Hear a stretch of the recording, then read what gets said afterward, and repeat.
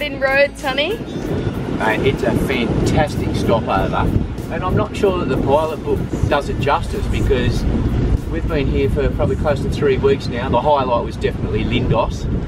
But here in Rhodes town itself, we haven't been into the old marina or the new marina. We've just been anchored off the whole time just outside of Mandraki, which doesn't rate a mention in the pilot book, but it's a short trip into town in the tender. Old town's fantastic. All in all, I'd give it the double thumbs up. This place, Rhodes is going off. it is. What surprised us most was we didn't think we were going to be able to anchor here, but it turns out that you can anchor quite successfully here. Lindos is a fabulous harbour, lovely place to anchor. All you ever hear people talk about is the amount of rocks in there, but what they don't mention is that there's actually a lot of sand as well, so the anchoring there is really good. It's very sheltered from the Meltemi. Rhodes itself anchoring outside the Mandraki harbour does get a little bit rolly when the Meltemi's blowing. We were there for a few nights early on when the Meltemi was blowing at sort of 30, 35 knots and it did get rocky for sure, but it's quite safe to anchor Not- there. it's not Yeah. untenable though. No. It does get slightly uncomfortable, but the last couple of days has been beautiful. It's certainly at no time was it untenable.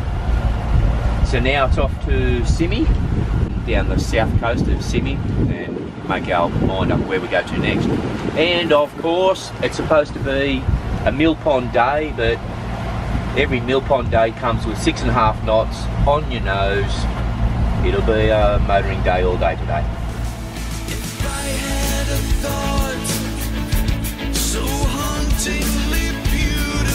Here's our windmill landmark.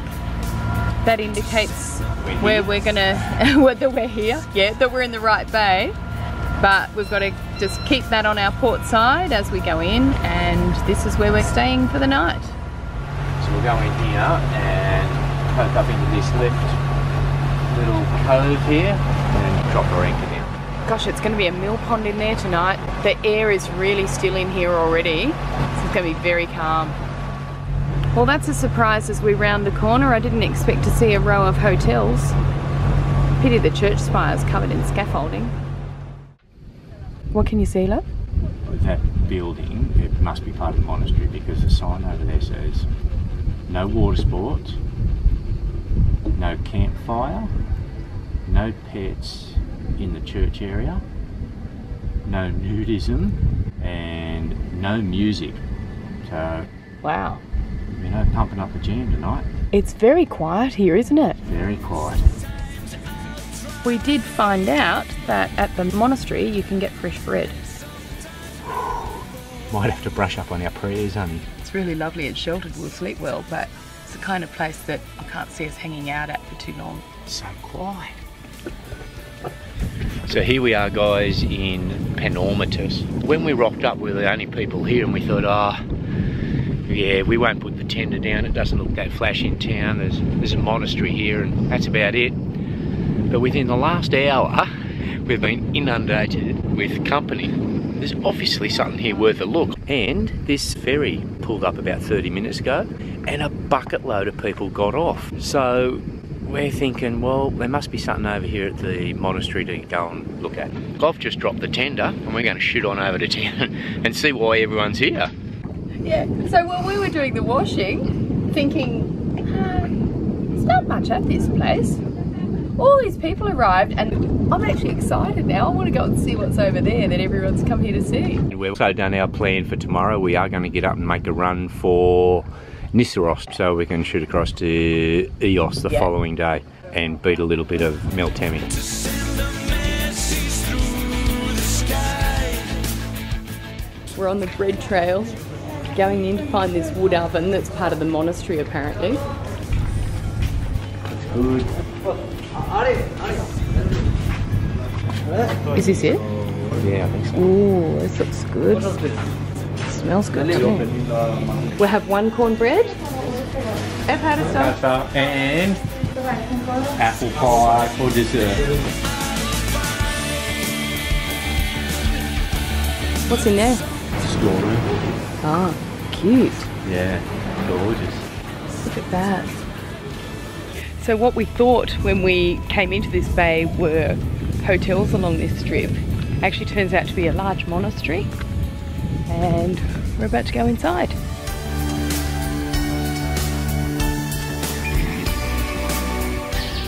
There's these enormous pots of basil here and I love making pesto but I don't think I can take any from the monastery. It just feels wrong. I'll leave it there.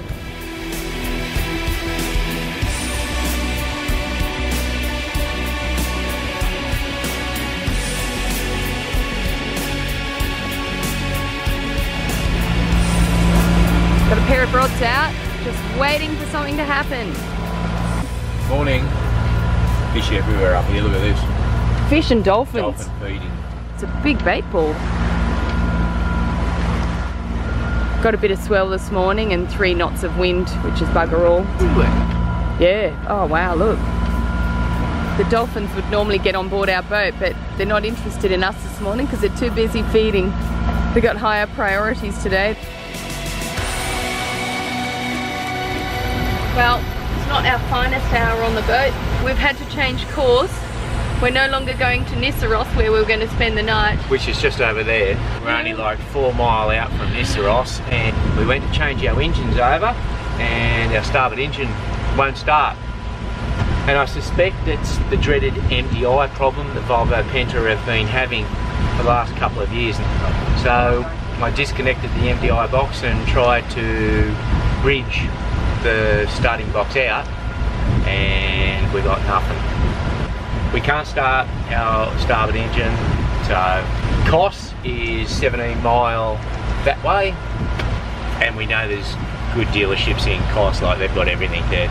We figured rather than bunkering down in Nisyros for a night and then heading up to Kos tomorrow, which it looks like we're going to have to do anyway.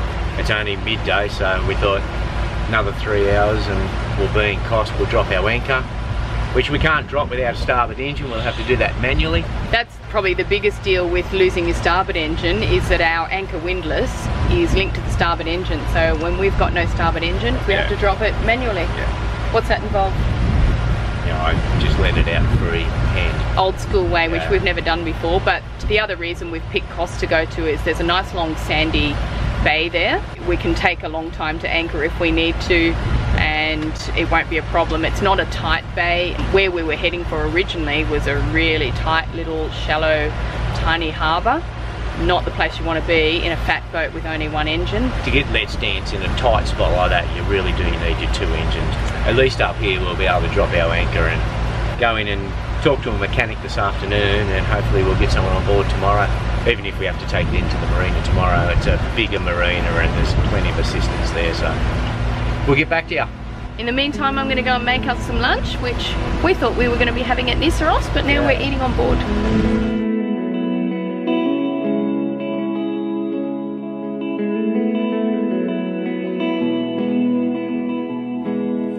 Driving east to Coeur d'Alene Across some unfamiliar place I hope my eyes are playing tricks Cause that old sun doesn't look the same Well, we've made it to Kos. It's now blowing about 20, 22 knots, and we've anchored just outside the marina. As we mentioned, we had to deploy the anchor manually. Michael had to actually release the anchor windlass using the winch handle, deployed some chain, and we've got the anchor stuck. Now Michael's gone into town to find a Volvo Penta service engineer to try and fix our problem. We just hope that it is the MDI because that would be easily fixed and still under warranty. Otherwise, who knows? I've stayed on board the boat because if we do happen to drag our anchor, God forbid, we would be blown into the marina. If that happens, all I can really do is turn on our port engine and steer forward as much as I can. We're fairly sure the anchor's stuck. We've actually anchored here before, so we're familiar with the area. We know that it's sandy bottom here and generally the anchor sticks quite well. We shouldn't move. Nothing's working like it should. The devil found his way to my neighborhood. He's sitting there my backyard.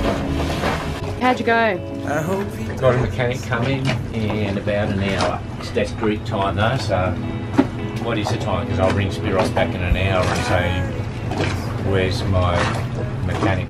Ye of little faith. I'll bet they don't get here in an hour. okay, well this is literally about three minutes later and they're here. You beauty. Oh word, that was quick. That's probably the best service I think I've ever seen. Static on the radio. Some old song I used to know. I can feel the engine. Here come the boys. I brought the electrician this time. Hopefully they brought some tools too, because the first dude didn't bring anything. Well, we've got a crew this time.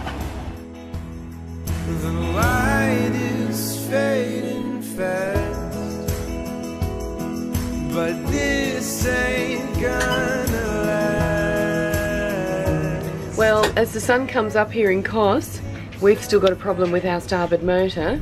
The electrician came out yesterday afternoon and flicked the breakers, which Michael had already done three times before he came. Miraculously, the engine started, so he told us there was nothing wrong with it.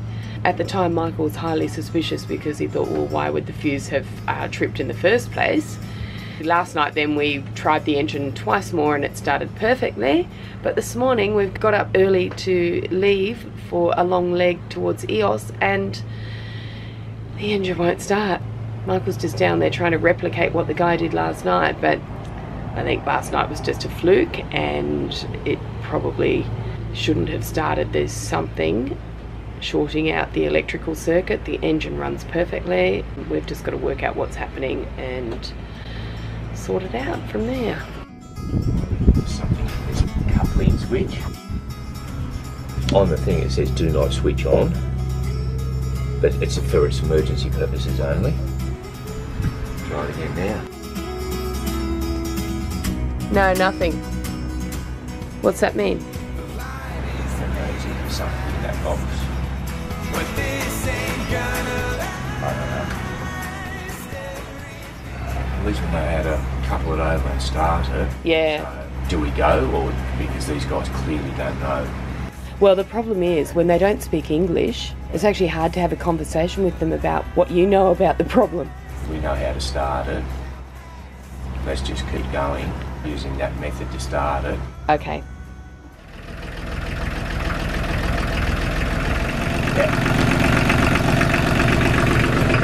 Let's get going.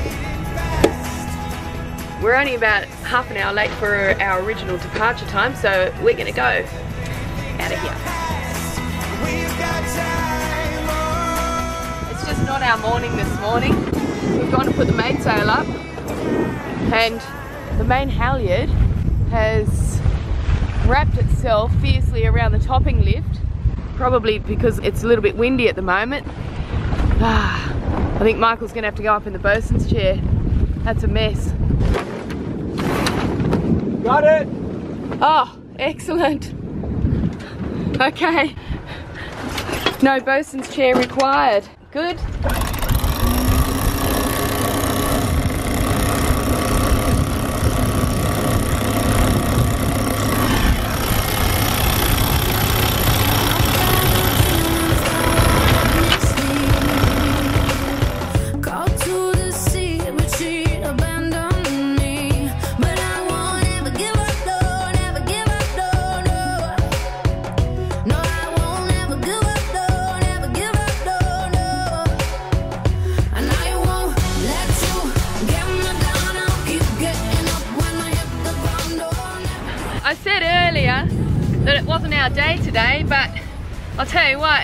Into our day. And now we're having an absolutely fantastic sail. We're doing seven knots. Yeah. We're going out into the middle of what we've affectionately termed Windy Alley, i.e. the middle of the Aegean. And it can be really nasty out here, but today is one of those days where we're going to sit on around 13, 14, 15 knots of true wind.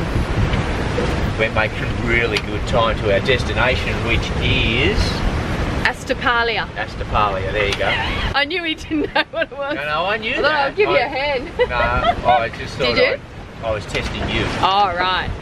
Yeah, the tables can turn pretty quickly out here. It was a pretty crappy morning to start with, but no, it's all looking up now. Let's hope this wind stays like this for the next 25 mile and we'll be laughing. Yeah, we will. If yeah. it picks up much more than it is at the moment, we're going to have to go to a reef. Sails are nicely trimmed.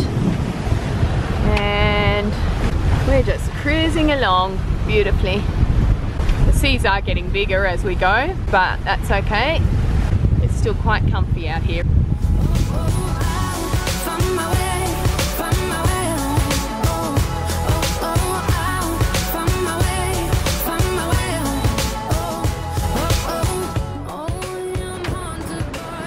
The We've got two tankers out here and we're basically coming across them at 90 degrees to their course.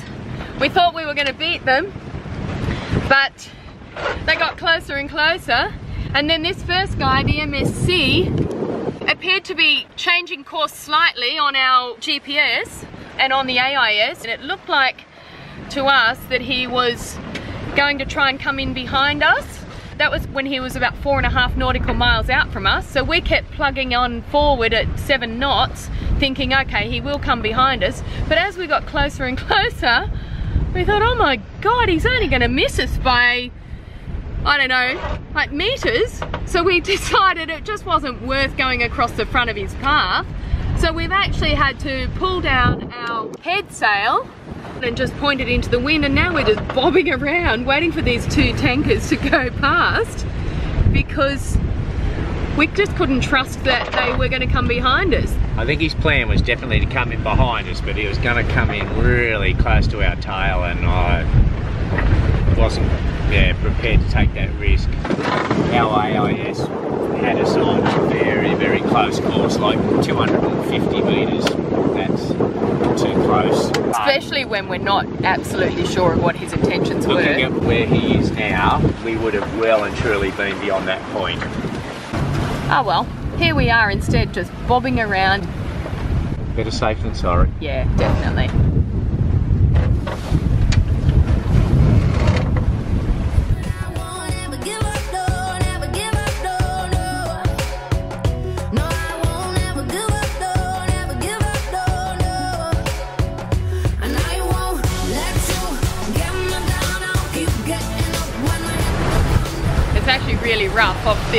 Southeast corner of Astypalaia, the island that we're going into tonight, because the wind is coming from the northwest and it's really funneling down the side of Astypalaia. We're sort of right in the washing machine here at the moment and we'll get into the lee of the land in about seven or eight miles time and we'll get out of this stuff. But for the meantime, this will probably get a little bit worse before it gets better just because the way the wind funnels down these land masses here in the Aegean.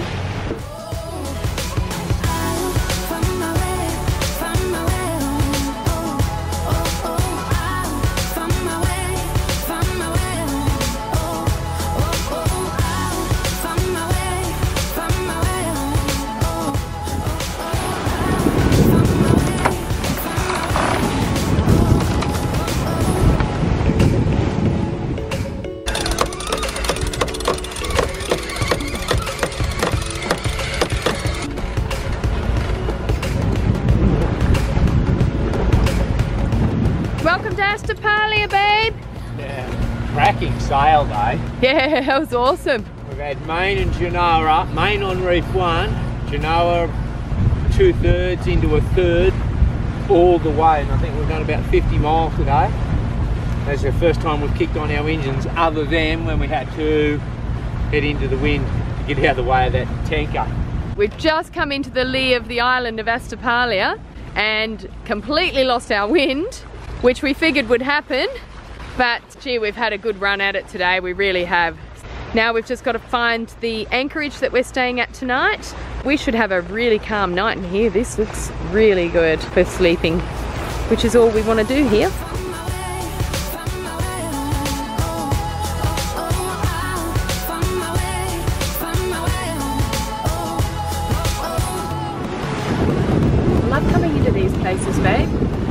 You've got your fort on the hill and what looks like a nice sheltered anchorage. I was just sitting up the top watching our approach into Astypalaia and I just said to Michael, oh wow, we're going to need the camera. This place looks fantastic. It's way off the tourist trail, but the castle is 13th century and it looks fabulous.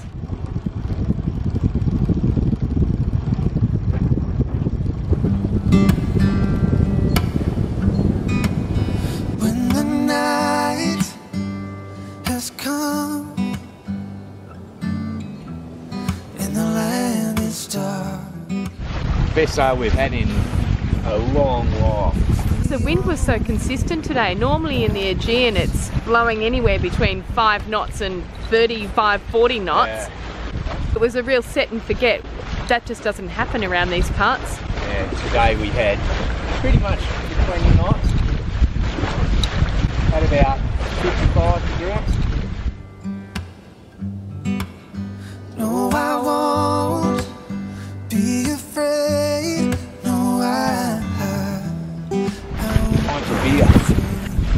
Not for me. I'm having an alcohol-free day today. There's actually two churches inside the castle walls up there. Quite excited about this place. That's what's awesome about sailing around the world. This is an island that we picked to come to just because it was on our way to where we want to be, which is Ios, and it was a convenient stopover, but this is a real surprise.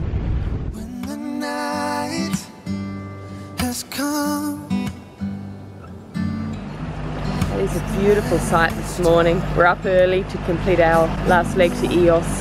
The sun's just rising over the castle here at Astypalaia. It's a lovely sight. We're just hoping the weather is going to hold out for us today. I think we're going to have wind on our nose, but we hope we can get to Ios. It's a long trip, but we're going to give it our best shot. Morning. How's that for a sight? Gorgeous, isn't it? So, darling, darling, stand Here comes the sun. Oh my god. Mornings like these, we just really pinch ourselves. We are punching into the waves today and into the wind, but wow. What a sight. Certainly the baggers. Got tuna today. if the sky, then we look upon. Wow, that sun looks good. This is sunrise number two for us as the sun comes up over the second rock of Astypalaia. We get two sunrises this morning. Gotta be happy with that. On our way over to Ios this morning, and we got an early start. The weather predictions are that we got 10 to 15 knots this morning, but as we push closer to Ios, that should calm off. But uh, we've had our main up up until just now. We've we've pulled it down because it's got a little bit lumpy out here. And I got my first mate at the helm whilst I packed the sails away. I've just had another look at the weather, and we should be pushing through this in the next 10 or 12 mile bit rough for the autopilot today, so we've gone to hand steering. Autopilot will do it, but she wanders a bit. I'm getting wet. Yeah, it's wet up there, isn't it? Yeah, we're getting spray up over the front of the boat. Yeah. It's just sloppy. Our dream runs over and we're in the slop. So, darling, darling, stand by me. Won't you stand by me just as long? Alright, we're gonna take reef one out. Yeah, for the third time today. We've, Yeah, had, we've had one of those days that we've been on the reef, off the reef, on the reef. Off. We've certainly got our reefing experience down pat. Yeah, but we've gone from 12 knots to 25 knots to everything in between. It's gone really quiet now though, so we'll get rid of this reef one. It's time. You're gonna have to degrees a bit, though. Yep, I'll just take us around 30 degrees, babe, and see if that's enough. Yeah, should be.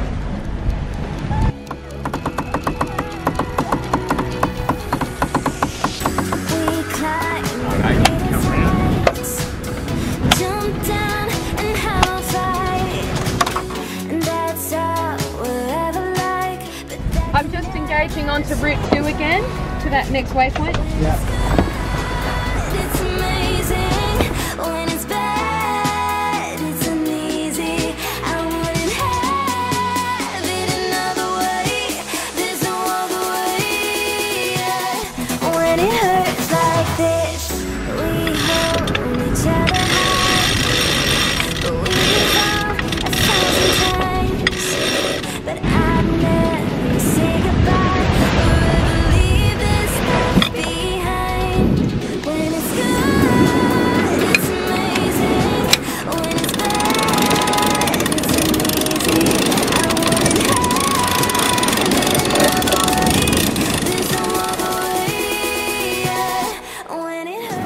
hurts. How's that, love? Bit more? Bit more.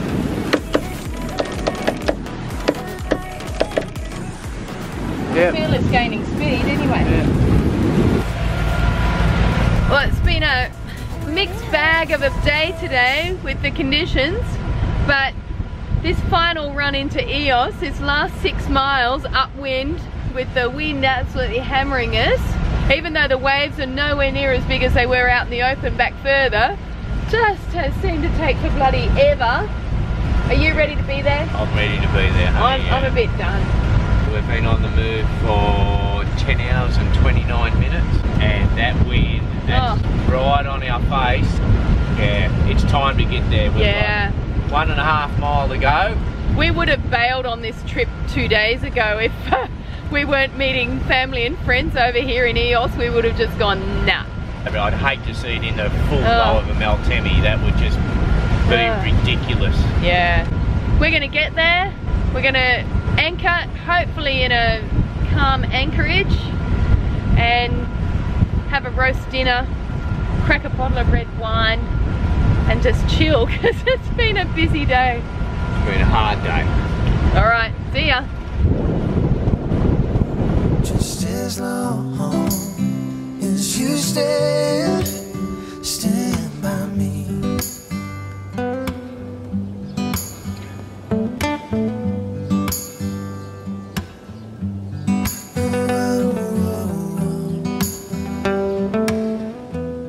We're really quite taken with the little island of Ios. It's a little bit like Mykonos, but we like the feel of this place better. I think it's funkier. Yeah, more scenic as well. And I think it's probably cheaper than Mykonos. Mykonos is a euro a beer. We haven't had a beer here yet, but I'm, I'm guessing we won't pay eight euro for one. Beer prices are like the international currency leveller. Yeah. beer and pizza. As you stand, stand by Good morning. We've been talking to our friends who are here in Ios with us about this electrical problem on our boat and between the three boys they've come up with a few more things to check. So Michael's got the multimeter out this morning and we're checking that the circuit breakers are functioning. So Michael's down here in the bows with all the tools out and I'm reading out the multimeter readings. Yeah, One, yeah. zero. We're just going through and checking each of the circuit breakers. Now, Zero, go back to this one. One. Right. What's the story? I think we've got a dodgy circuit breaker on our service bank. I know where I'm going to get one of them. I just heard a big groan and a bloody hell. I think Michael's found something. He always gets there in the end, and it's fantastic. He does a great job on the boat. We've got a dead short. Bloody hell. Check this out. This is our coupling box for the port and starboard battery banks. This is our starboard battery bank here. I've disconnected two of our batteries just so I can get in at it. So you've got service breaker, starboard breaker, and emergency start. This is the one that I've been coupling so I can actually start it. I'm just going through and checking all these connections in here. And look what I found down here. This cable here, which runs up to my service breaker, you can see that it actually goes straight across the top of a bolt. That bolt, through vibration, has worn straight through that cable. It's a dead short. Every time we put current through there, it's just saying, uh-uh. And a dead short would be why when we're running our starboard engine, she's a load of about 100 amps. when I take this cable out of circuit, our starboard engine will run. Stand by me. So here's my culprit. See that burn mark there? That's where it's been rubbing on one of the bolts that just holds the service key into the outer box. And with vibration, it's just rubbed through, and we've got a dead short, and the engine says there's no way. So I'm going to re-insulate that because I think the cable should be fine. I'm going to reposition it so it's not running straight over the top of the bolt. Righto, eh? get to work, get this back happening. I've re-insulated that cable just there. A little bit of garden hose around it. Tape. It's gonna look as good as new when you're finished, honey. So there's the finished product.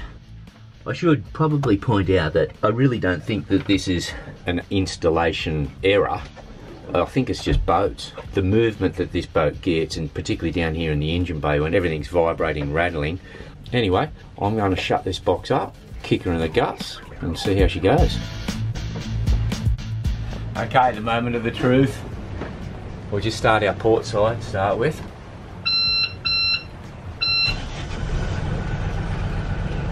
That's a good start, but that always worked. that was never a problem. Starboard. Come on. No? Really? Far out. Maybe the brake has gone on it. If it's not this, then we're back to square one. Not a nice thought after four or five days of really trying to work this out. It might not have. The voltage Might now. not have the voltage in it. That'll start. That'll be it. The voltage will be down. Yeah, right.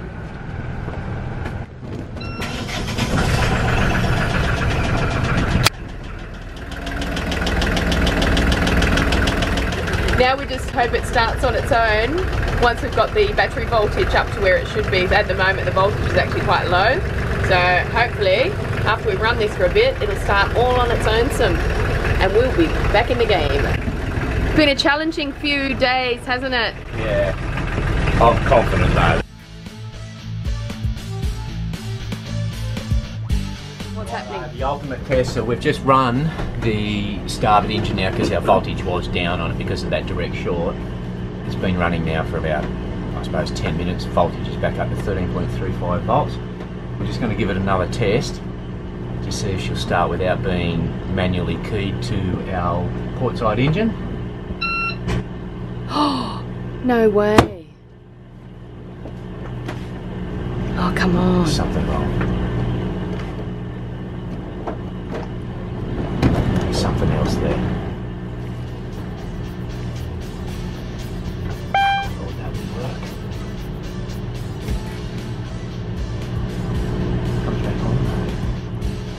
So the short is fixed.